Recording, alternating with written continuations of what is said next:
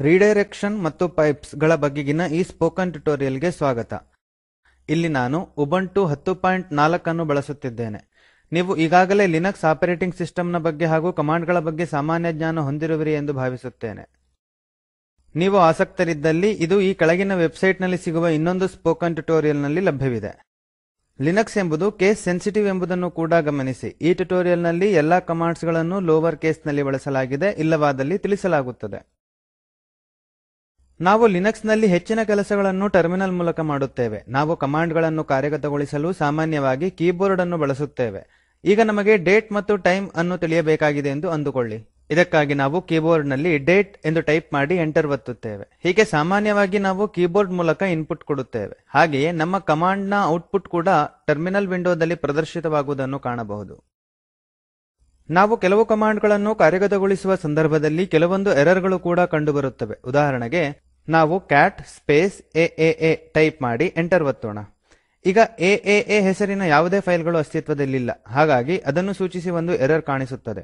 ಈಗ ಈ ಎರರ್ ಕೂಡ ಟರ್ಮಿನಲ್ ವಿಂಡೋದಲ್ಲಿ ಕಾಣಿಸುತ್ತದೆ. ಆದ್ದರಿಂದ ನಾವು ಎರರ್ ವರದಿಯನ್ನು ಕೂಡ ಟರ್ಮಿನಲ್ನಲ್ಲಿ ನೋಡಬಹುದು. ಈಗ ಇನ್ಪುಟಿಂಗ್ ಔಟ್ಪುಟಿಂಗ್ ಮತ್ತು ಎರರ್ ವರದಿ. ಇವು ಕಮಾಂಡ್ ಗಳಿಗೆ ಸಂಬಂಧಿಸಿದ ಮೂರು ವಿಶೇಷ ಕ್ರಿಯೆಗಳು. ರಿಡೈರೆಕ್ಷನ್ ಬಗ್ಗೆ ಕಲಿಯುವ ಮೊದಲು ನಾವು ಎರಡು ಪ್ರಮುಖ ಕಾನ್ಸೆಪ್ಟ್ಗಳ ಬಗ್ಗೆ ತಿಳಿದಿರಬೇಕು. ಅದೇನೆಂದರೆ ಸ್ಟ್ರೀಮ್ಸ್ ಮತ್ತು ಫೈಲ್ ಡಿಸ್ಕ್ರಿಪ್ಟರ್ಸ್ ಲಿನಕ್ಸ್ ಶೆಲ್ ಬ್ಯಾಶ್ನ ಹಾಗೆ ಇನ್ಪುಟ್ ಪಡೆಯುತ್ತದೆ ಮತ್ತು ಅಕ್ಷರಗಳನ್ನು ಧಾರಾರೂಪದಲ್ಲಿ ಔಟ್ಪುಟ್ ಕಳುಹಿಸುತ್ತದೆ. ಹಿಂದೆ ಮುಂದೆ ಇರುವ ಪ್ರತಿಯೊಂದು ಅಕ್ಷರವೂ ಪರಸ್ಪರ ಅವಲಂಬಿತವಾಗಿರದೆ ಸ್ವತಂತ್ರವಾಗಿರುತ್ತದೆ. ಸ್ಟ್ರೀಮ್ಗಳು ಫೈಲ್ ಐಒ ಟೆಕ್ನಿಕ್ ಅನ್ನು ಬಳಸಿಯೇ ಸಂಕಲಿತಗೊಳ್ಳುತ್ತವೆ. ಇಲ್ಲಿ ನಿಜವಾದ ಅಕ್ಷರಗಳ ಸ್ಟ್ರೀಮ್ ಫೈಲ್ನಿಂದ ಕೀಬೋರ್ಡ್ ಅಥವಾ ವಿಂಡೋ ಮುಂತಾದವುಗಳಿಂದ ಕೂಡ ಬರಬಹುದು ಅಥವಾ ಹೋಗಬಹುದು. ಲಿನಕ್ಸ್ನಲ್ಲಿ ಒಂದು ಪ್ರೊಸೆಸ್ ಪ್ರತಿಯೊಂದು ತೆರೆದ ಫೈಲ್ ಒಂದು ಪೂರ್ಣಾಂಕ ಸಂಖ್ಯೆಯೊಂದಿಗೆ ಸಂಬಂಧ ಹೊಂದಿರುತ್ತದೆ. ಈ ಸಂಖ್ಯಾ ಮೌಲ್ಯಗಳನ್ನು ಫೈಲ್ ಡಿಸ್ಕ್ರಿಪ್ಟರ್ ಗಳೆಂದು ಕರೆಯುತ್ತಾರೆ. ಲಿನಕ್ಸ್ ಶೆಲ್ಗಳು ಮೂರು ಮಾದರಿಯ ಐಒ ಸ್ಟ್ರೀಮ್ಗಳನ್ನು ಬಳಸುತ್ತವೆ. ಇದರಲ್ಲಿ ಪ್ರತಿಯೊಂದು ಕೂಡ ಪ್ರಸಿದ್ಧ ಫೈಲ್ ಡಿಸ್ಕ್ರಿಪ್ಟರ್ಗಳ ಜೊತೆ ಸೇರಿರುತ್ತದೆ. ಎಸ್ಟಿಡಿಇನ್ ಒಂದು ಗುಣಮಟ್ಟದ ಇನ್ಪುಟ್ ಸ್ಟ್ರೀಮ್ ಆಗಿದೆ. ಇದು ಕಮಾಂಡ್ ಗಳಿಗೆ ಇನ್ಪುಟ್ ಒದಗಿಸುತ್ತದೆ. ಇಲ್ಲಿ ಫೈಲ್ ಡಿಸ್ಕ್ರಿಪ್ಟರ್ ಸೊನ್ನೆ ಆಗಿರುತ್ತದೆ. ಔಟ್ ಒಂದು ಒಳ್ಳೆಯ ಗುಣಮಟ್ಟದ ಔಟ್ಪುಟ್ ಸ್ಟ್ರೀಮ್ ಆಗಿರುತ್ತದೆ. ಇದು ಕಮಾಂಡ್ಸ್ ಗಳಿಂದ ಔಟ್ಪುಟ್ ಅನ್ನು ಪ್ರದರ್ಶಿಸುತ್ತದೆ. ಇದರ ಫೈಲ್ ಡಿಸ್ಕ್ರಿಪ್ಟರ್ ಒಂದು ಆಗಿರುತ್ತದೆ. ಎಸ್ಟಿಡಿಇಆರ್ಆರ್ ಎರರ್ ಸ್ಟ್ರೀಮ್ ಆಗಿದೆ. ಇದು ಕಮಾಂಡ್ ಗಳಿಂದ ಎರರ್ ಔಟ್ಪುಟ್ ಅನ್ನು ಪ್ರದರ್ಶಿಸುತ್ತದೆ. ಇದರ ಫೈಲ್ ಡಿಸ್ಕ್ರಿಪ್ಟರ್ ಎರಡು ಆಗಿರುತ್ತದೆ. ಇನ್ಪುಟ್ ಸ್ಟ್ರೀಮ್ ಪ್ರೋಗ್ರಾಂಗಳಿಗೆ ಇನ್ಪುಟ್ ಒದಗಿಸುತ್ತದೆ. ಪೂರ್ವನಿಯೋಜಿತವಾಗಿ ಇದು ಟರ್ಮಿನಲ್ ಕೀಸ್ಟ್ರೋಕ್ ಗಳಿಂದ ತೆರೆದುಕೊಳ್ಳುತ್ತದೆ. ಔಟ್ಪುಟ್ ಸ್ಟ್ರೀಮ್ ಪೂರ್ವನಿಯೋಜಿತವಾಗಿ ಪಠ್ಯಾಕ್ಷರಗಳನ್ನು ಟರ್ಮಿನಲ್ನಲ್ಲಿ ಮುದ್ರಿಸುತ್ತದೆ. ಟರ್ಮಿನಲ್ ಮೂಲತಃ ಒಂದು ಆಸ್ಕೈ ಟೈಪ್ ರೈಟರ್ ಅಥವಾ ಡಿಸ್ಪ್ಲೇ ಟರ್ಮಿನಲ್ ಆಗಿತ್ತು. ಆದರೆ ಈಗ ಅದು ಗ್ರಾಫಿಕಲ್ ಡೆಸ್ಕ್ಟಾಪ್ನ ನ ಮೇಲೆ ಟೆಕ್ಸ್ಟ್ ವಿಂಡೋ ಆಗಿರುತ್ತದೆ. ನಾವು ಮೂರು ಸ್ಟ್ರೀಮ್ಗಳನ್ನು ಪೂರ್ವನಿಯೋಜಿತವಾಗಿ ಕೆಲವು ಫೈಲ್ ಗಳಿಗೆ ಸಂಪರ್ಕವಿರುವುದನ್ನು ನೋಡಿದ್ದೇವೆ. ಆದರೆ ಲಿನಕ್ಸ್ನಲ್ಲಿ ನಾವು ಈ ಪೂರ್ವನಿಯೋಜಿತ ವರ್ತನೆಗಳನ್ನು ಬದಲಾಯಿಸಬಹುದು. ನಾವು ಈ ಮೂರು ಸ್ಟ್ರೀಮ್ಗಳನ್ನು ಬೇರೆ ಫೈಲ್ಗೆ ಸಂಪರ್ಕಿಸಬಹುದು. ಈ ಪ್ರೊಸೆಸ್ ಅನ್ನು ರಿಡೈರೆಕ್ಷನ್ ಎಂದು ಕರೆಯುತ್ತಾರೆ. ಈಗ ರೀಡೈರೆಕ್ಷನ್ ಅನ್ನು ಮೂರು ಸ್ಟ್ರೀಮ್ಗಳಲ್ಲಿ ಹೇಗೆ ಮಾಡಲಾಗುತ್ತದೆ ಎಂದು ನೋಡೋಣ. ಮೊದಲಿಗೆ ನಾವು ಹೇಗೆ ಸ್ಟ್ಯಾಂಡರ್ಡ್ ಇನ್ಪುಟ್ ರೀಡೈರೆಕ್ಟ್ ಆಗುತ್ತದೆ ಎಂದು ನೋಡೋಣ. ನಾವು ಲೆಫ್ಟ್ ಆಂಗಲ್ಡ್ ಬ್ರಾಕೆಟ್ನ ಸಹಾಯದಿಂದ ಸ್ಟ್ಯಾಂಡರ್ಡ್ ಇನ್ ಎಂಬುದನ್ನು ಫೈಲ್ನಿಂದ ರೀಡೈರೆಕ್ಟ್ ಮಾಡೋಣ. ನಮಗೆ ತಿಳಿದಿರುವ ಪ್ರಕಾರ ಡಬ್ಲ್ಯೂಸಿ ಕಮಾಂಡ್ ಅನ್ನು ಸಾಲುಗಳ ಪದಗಳ ಮತ್ತು ಫೈಲ್ ನಲ್ಲಿರುವ ಅಕ್ಷರಗಳ ಸಂಖ್ಯೆಯನ್ನು ಪತ್ತೆ ಹಚ್ಚಲು ಬಳಸಲಾಗುತ್ತದೆ ಟರ್ಮಿನಲ್ ವಿಂಡೋನಲ್ಲಿ ಡಬ್ಲ್ಯೂಸಿ ಟೈಪ್ ಮಾಡಿ, ಈಗ ಎಂಟರ್ ಒತ್ತಿ. ಏನಾಗಬಹುದು? ನಾವು ಮಿನುಗುತ್ತಿರುವ ಕರ್ಸರ್ ನೋಡುತ್ತಿದ್ದೇವೆ. ಇದರ ಅರ್ಥ ನಾವು ಕೀಬೋರ್ಡ್ ಮೂಲಕ ಬರೆಯಬೇಕೆಂದು. ಈಗ ಒಂದು ಟೆಕ್ಸ್ಟ್ ಅನ್ನು ಬರೆಯಿರಿ. This tutorial is very important ಈಗ ಎಂಟರ್ ಒತ್ತಿ. ಈಗ ಕಂಟ್ರೋಲ್ ಮತ್ತು ಡಿ ಅನ್ನು ಒಟ್ಟಿಗೆ ಒತ್ತಿ. ಈಗ ನಾವು ಬರೆದ ಸಾಲುಗಳ ಮೇಲೆ ಕಮಾಂಡ್ ಕಾರ್ಯಗತಗೊಳ್ಳುತ್ತದೆ. ಕಮಾಂಡ್ ಟರ್ಮಿನಲ್ನ ಮೇಲೆ ಒಂದು ಔಟ್ಪುಟ್ ಕೊಡುತ್ತದೆ. ಈಗ ಇಲ್ಲಿ ಡಬ್ಲ್ಯೂಸಿ ಕಮಾಂಡ್ ನಂತರ ಯಾವುದೇ ಫೈಲ್ ನೀಡಲಾಗುವುದಿಲ್ಲ. ಆದ್ದರಿಂದ ಇದು ಇನ್ಪುಟ್ ಅನ್ನು ಸ್ಟ್ಯಾಂಡರ್ಡ್ ಇನ್ಪುಟ್ ಸ್ಟ್ರೀಮ್ನಿಂದ ತೆಗೆದುಕೊಳ್ಳುತ್ತದೆ. ಈಗ ಸ್ಟ್ಯಾಂಡರ್ಡ್ ಇನ್ಪುಟ್ ಸ್ಟ್ರೀಮ್ ಪೂರ್ವನಿಯೋಜಿತವಾಗಿ ಕೀಬೋರ್ಡ್ಗೆ ಸಂಪರ್ಕಿಸಲಾಗಿದೆ. ಆದ್ದರಿಂದ ಡಬ್ಲ್ಯೂಸಿ ಕೀಬೋರ್ಡ್ನಿಂದ ಇನ್ಪುಟ್ ತೆಗೆದುಕೊಳ್ಳುತ್ತದೆ. ಈಗ ನಾವು ಹೀಗೆ ಬರದಲ್ಲಿ W C space left angled bracket space test one dot TXT ಏನಾಗಬಹುದು ಅಂದರೆ ಡಬ್ಲ್ಯೂಸಿ ನಮಗೆ ಟೆಸ್ಟ್ ಒನ್ ಡಾಟ್ ಟಿಎಕ್ಸ್ಟಿ ಫೈಲ್ನ ಒಟ್ಟು ಸಾಲುಗಳು, ಪದಗಳು ಮತ್ತು ಅಕ್ಷರಗಳನ್ನು ಹೇಳುತ್ತದೆ. ಈಗ ಟೈಪ್ ಮಾಡಿ WC space test one dot TXT ನಾವು ಅದೇ ಫಲಿತಾಂಶವನ್ನು ನೋಡಬಹುದು. ಹಾಗಾದರೆ ವ್ಯತ್ಯಾಸ ಏನು?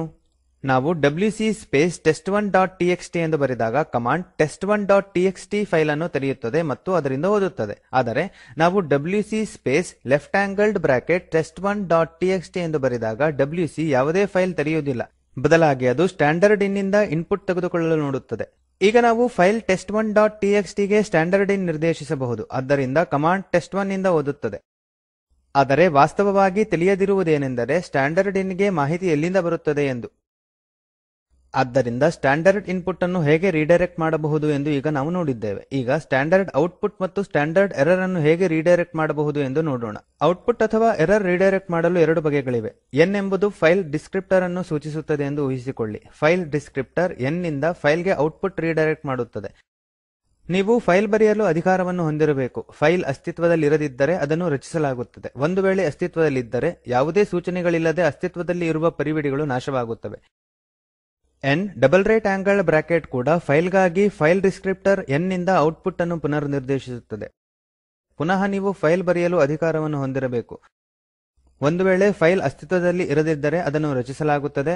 ಒಂದು ವೇಳೆ ಫೈಲ್ ಅಸ್ತಿತ್ವದಲ್ಲಿ ಇದ್ದರೆ ಅದನ್ನು ಅಸ್ತಿತ್ವದಲ್ಲಿ ಇರುವ ಫೈಲ್ಗೆ ಸೇರಿಸಲಾಗುತ್ತದೆ.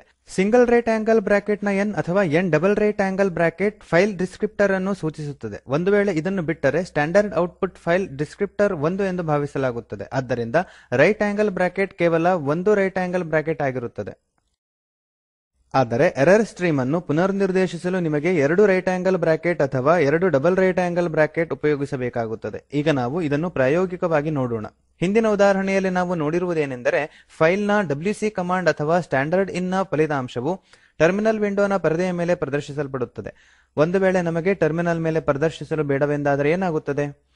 ನಾವು ಇದನ್ನು ಫೈಲ್ನಲ್ಲಿ ಸ್ಟೋರ್ ಮಾಡಲು ಇಚ್ಛಿಸುತ್ತೇವೆ, ಯಾಕೆಂದರೆ ನಾವು ಈ ಮಾಹಿತಿಯನ್ನು ಅನಂತರ ಉಪಯೋಗಿಸಬಹುದಾಗಿದೆ. ಪೂರ್ವನಿಯೋಜಿತವಾಗಿ ಡಬ್ಲ್ಯೂಸಿ ತನ್ನ ಔಟ್ಪುಟ್ ಅನ್ನು ಸ್ಟ್ಯಾಂಡರ್ಡ್ ಔಟ್ನಲ್ಲಿ ಬರೆಯುತ್ತದೆ. ಸ್ಟ್ಯಾಂಡರ್ಡ್ ಔಟ್ ಪೂರ್ವನಿಯೋಜಿತವಾಗಿ ಟರ್ಮಿನಲ್ ವಿಂಡೋ ಜೊತೆ ಸಂಪರ್ಕವನ್ನು ಹೊಂದಿದೆ. ಹಾಗಾಗಿ ನಾವು ಔಟ್ಪುಟ್ ಅನ್ನು ಟರ್ಮಿನಲ್ ವಿಂಡೋ ಮೇಲೆ ಕಾಣಬಹುದಾಗಿದೆ. ಆದರೆ ಒಂದು ವೇಳೆ ನಮಗೆ ಸ್ಟ್ಯಾಂಡರ್ಡ್ ಔಟ್ ಅನ್ನು ಫೈಲ್ಗೆ ರೀಡೈರೆಕ್ಟ್ ಮಾಡಲು ಸಾಧ್ಯವಾದರೆ ಔಟ್ಪುಟ್ ಅನ್ನು ಡಬ್ಲ್ಯೂಸಿ ಕಮಾಂಡ್ನಿಂದ ಆ ಫೈಲ್ಗೆ ಬರೆಯಲಾಗುತ್ತದೆ.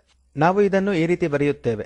WC space test one dot TXT right angled bracket WC underscore results dot TXT ಈಗ ಎಂಟರ್ ಒತ್ತಿ. ಈಗ ಇದು ವಾಸ್ತವವಾಗಿ ಸಂಭವಿಸಿದೆ ಎಂದು ನೋಡಲು ನಾವು ಕ್ಯಾಟ್ ಕಮಾಂಡ್ನ ಮೂಲಕ WC underscore result dot TXT ಗಳನ್ನು ನೋ- ತೋರಿಸಬಹುದು.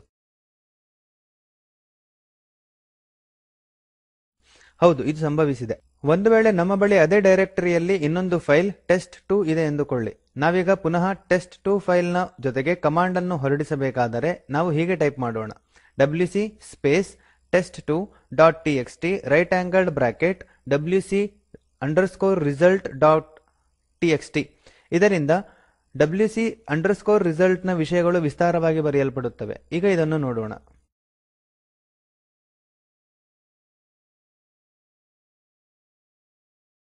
ಬದಲಾಗಿ ನಾವು WC space test one dot TXT right angle bracket twice WC underscore results dot TXT ಎಂದು ಬರೆದರೆ, ಇಲ್ಲಿ ಹೊಸ ವಿಷಯಗಳು, ಮೊದಲೇ ಉಪಸ್ಥಿತಿಯಲ್ಲಿರುವ wc underscore result dot TXT ಫೈಲ್ನ ವಿಷಯಗಳನ್ನು ಓವರ್ ರೈಟ್ ಮಾಡುವುದಿಲ್ಲ, ಬದಲಾಗಿ ಸೇರಿಸಲಾಗುತ್ತದೆ. ಈಗ ಇದನ್ನು ಕೂಡ ನೋಡೋಣ.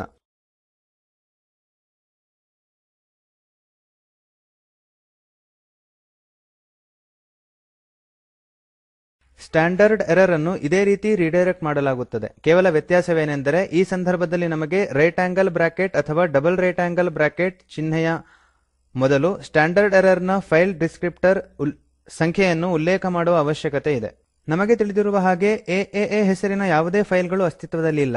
ಈಗ ಈ ಕೆಳಗಿರುವಂತೆ ಬರೆಯಿರಿ. WC space A A A. ಈಗ ಶೆಲ್ ಎರರ್ ಅನ್ನು ತೋರಿಸುತ್ತದೆ. ಅದೇನೆಂದರೆ no such file or directory. ಈಗ ನಮಗೆ ಎರರ್ ಮೆಸೇಜ್ಗಳನ್ನು ಸ್ಕ್ರೀನ್ನ ಮೇಲೆ ಕಾಣುವುದು ಬೇಡವೆಂದಾದರೆ ಅದನ್ನು ಬೇರೆ ಫೈಲ್ಗೆ ರಿಡೈರೆಕ್ಟ್ ಮಾಡಬಹುದು. ಇದಕ್ಕಾಗಿ ಕಮಾಂಡ್ ಅನ್ನು ಬರೆಯೋಣ. WC space A space two right angle bracket error log dot TXT ಈಗ ಎರರ್ ಟರ್ಮಿನಲ್ ಮೇಲೆ ಕಾಣಿಸುವುದಿಲ್ಲ. ಬದಲಾಗಿ ಇದು ಎರರ್ಲಾಗ್ ಡಾಟ್ ಟಿಎಕ್ಸ್ಟಿ ಫೈಲ್ನಲ್ಲಿ ಬರೆಯಲ್ಪಟ್ಟಿರುತ್ತದೆ. ಇದನ್ನು ನಾವು ಈ ಕಮಾಂಡ್ನ ಮೂಲಕ ನೋಡಬಹುದಾಗಿದೆ. Cat space error log dot TXT ಒಂದು ವೇಳೆ ನಾನು ಈಗ cat space B B B space two right angle bracket error log dot TXT ಈ ಕಮಾಂಡ್ ಅನ್ನು ಕಾರ್ಯಗತಗೊಳಿಸಿ ಬೇರೆ ಎರರ್ ಮಾಡುತ್ತೇನೆ ಎಂದುಕೊಳ್ಳಿ. ಆಗ ಹಿಂದಿನ ಎರರ್ ತಿದ್ದಲ್ಪಟ್ಟು ಇಲ್ಲಿ ಹೊಸ ಎರರ್ ಕಾಣಿಸುತ್ತದೆ. ಇಲ್ಲಿ cat space error log dot TXT ನೋಡಿ. ಆದರೆ ಒಂದು ವೇಳೆ ನಮಗೆ ಎಲ್ಲಾ ಎರರ್ಗಳ ಪಟ್ಟಿ ಮಾಡಬೇಕೆಂದರೆ ಏನು ಮಾಡುವುದು? ಇದಕ್ಕಾಗಿ ನಾವು ಒಂದು ಕಮಾಂಡ್ ಅನ್ನು ಚಲಾಯಿಸೋಣ. W C space a space two right angle bracket twice error log dot T X T ನಾವು ಕ್ಯಾಟ್ ಕಮಾಂಡ್ ಮೂಲಕ ಇದನ್ನು ಪರಿಶೀಲಿಸುತ್ತೇವೆ. ನಾವು ಈಗಾಗಲೇ standard out standard in standard error ಎಂಬ ಈ ಮೂರು ಸ್ಟ್ರೀಮ್ಸ್ಗಳನ್ನು ಹೇಗೆ ಪ್ರತ್ಯೇಕವಾಗಿ ರಿಡೈರೆಕ್ಟ್ ಮಾಡುತ್ತೇವೆ ಮತ್ತು ಕುಶಲತೆಯಿಂದ ಪ್ರಯೋಗಿಸಲಾಗುತ್ತದೆ ಎಂದು ತಿಳಿದಿದ್ದೇವೆ. ಆದರೆ ಈ ಪರಿಕಲ್ಪನೆಯ ವಾಸ್ತವಿಕವಾದ ಶಕ್ತಿಯ ಅಂದಾಜನ್ನು ನಾವು ಸ್ಟ್ರೀಮ್ಸ್ಗಳನ್ನು ಒಟ್ಟಿಗೆ ಮ್ಯಾನುಪುಲೇಟ್ ಮಾಡಬಹುದಾದ ಸಮಯದಲ್ಲಿಯೇ, ಅಂದರೆ ವಿವಿಧ ಸ್ಟ್ರೀಮ್ಗಳ ಜೋಡಣೆ ಮಾಡುವ ಸಮಯದಲ್ಲಿಯೇ ಲೆಕ್ಕ ಹಾಕಬಹುದು. ಈ ಪ್ರೊಸೆಸ್ ಅನ್ನು ಪೈಪ್ಲೈನಿಂಗ್ ಎನ್ನಲಾಗುತ್ತದೆ. ಪೈಪ್ಸ್ಗಳನ್ನು ಕಮಾಂಡ್ ಸರಣಿಗಳನ್ನು ರಚಿಸಲು ಬಳಸಲಾಗುತ್ತದೆ. ಪೈಪ್ ಸರಣಿಯಲ್ಲಿ ಕಮಾಂಡ್ನ ಔಟ್ಪುಟ್ ಅನ್ನು ನಂತರದ ಕಮಾಂಡ್ನ ಇನ್ಪುಟ್ಗೆ ಸಂಪರ್ಕಿಸುತ್ತದೆ. Command one vertical bar command two hyphen option vertical bar command three hyphen option one hyphen option two vertical bar command four. ಒಂದು ವೇಳೆ ನಮಗೆ ಈಗಿರುವ ಡೈರೆಕ್ಟರಿಯಲ್ಲಿರುವ ಫೈಲ್ಗಳ ಮತ್ತು ಡೈರೆಕ್ಟರಿಗಳ ಸಂಪೂರ್ಣ ಸಂಖ್ಯೆಗಳನ್ನು ತಿಳಿಯಬೇಕಾಗಿದೆ ಎಂದುಕೊಳ್ಳಿ. ಅದಕ್ಕಾಗಿ ನಾವು ಏನು ಮಾಡಬಹುದು? ನಮಗೆ ತಿಳಿದಿರುವ ಪ್ರಕಾರ ಎಲ್ಎಸ್ ಸ್ಪೇಸ್ ಮೈನಸ್ ಎಲ್ ಈಗಿರುವ ಡೈರೆಕ್ಟರಿಯಲ್ಲಿರುವ ಎಲ್ಲಾ ಫೈಲ್ಗಳ ಮತ್ತು ಡೈರೆಕ್ಟರಿಗಳ ಪಟ್ಟಿಯನ್ನು ಮಾಡುತ್ತದೆ. ನಾವು ಫೈಲ್ಗೆ ಔಟ್ಪುಟ್ ಅನ್ನು ರೀಡೈರೆಕ್ಟ್ ಮಾಡಬಹುದು.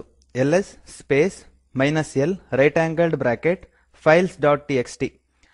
Cat space file dot T X T ಚಲಾಯಿಸಿ.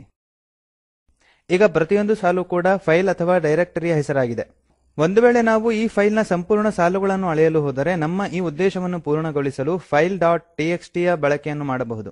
ಇದನ್ನು ಈ ಕಮಾಂಡ್ ಮೂಲಕ ಮಾಡಬಹುದು. W C space minus L files dot T X T ಇದು ನಮ್ಮ ಉದ್ದೇಶಗಳನ್ನು ಪೂರ್ಣಗೊಳಿಸುತ್ತದೆ. ಆದರೆ ಅಲ್ಲಿ ಕೆಲವು ತೊಂದರೆಗಳು ಉಂಟಾಗುತ್ತವೆ. ಮೊದಲು ನಮಗೆ ಇಂಟರ್ಮೀಡಿಯೇಟ್ ಫೈಲ್ ಬೇಕಾಗಿದೆ. ಇಲ್ಲಿ ಅದು ಫೈಲ್ಸ್ ಡಾಟ್ ಟಿಎಕ್ಸ್ಟಿ ಆಗಿದೆ. ಆದ್ದರಿಂದ ಒಂದು ವೇಳೆ ನಾವು ಹಲವು ಕಮಾಂಡ್ಗಳ ಸರಣಿ ರಚಿಸಲು ಬಯಸಿದಲ್ಲಿ ಈ ವಿಧಾನ ನಿಧಾನಗೊಳ್ಳುತ್ತದೆ. ನಾವು ಸುಲಭವಾಗಿ ಪೈಪ್ಸ್ ಬಳಸಿಕೊಂಡು ಈ ರೀತಿ ಮಾಡಬಹುದು. ಇದಕ್ಕಾಗಿ ನಾವು ಬರೆಯುತ್ತೇವೆ L S space minus L vertical bar W C space minus L ಮತ್ತು ನಾವು ಅತ್ಯಂತ ಸುಲಭವಾಗಿ ಒಂದೇ ಆದ ಫಲಿತಾಂಶವನ್ನು ಪಡೆಯಬಹುದು. ಎಲ್ಎಸ್ ಕಮಾಂಡ್ನಿಂದ ಔಟ್ಪುಟ್ ಡಬ್ಲ್ಯೂಸಿ ಕಮಾಂಡ್ಗೆ ಇನ್ಪುಟ್ ಆಗಿ ಹೋಗುತ್ತದೆ. ನಾವು ಪೈಪ್ಗಳ ಮೂಲಕ ಅತಿ ಉದ್ದದ ಕಮಾಂಡ್ಗಳ ಸರಣಿಯನ್ನು ಕೂಡ ಸೇರಿಸಬಹುದಾಗಿದೆ. ಪೈಪ್ಗಳ ಒಂದು ಸಾಮಾನ್ಯ ಬಳಕೆ ಮಲ್ಟಿಪೇಜ್ ಪ್ರದರ್ಶನಗಳನ್ನು ಓದಲು ಆಗುತ್ತದೆ. C D space slash user slash bin ಎಂದು ಟೈಪ್ ಮಾಡಿ. ಹಾಗಾಗಿ ನಾವು ಈಗ ಬಿನ್ ಡೈರೆಕ್ಟರಿಯಲ್ಲಿ ಇದ್ದೇವೆ. ಈಗ ಎಲ್ಎಸ್ ಮೈನಸ್ ಎಲ್ ಚಲಾಯಿಸಿ.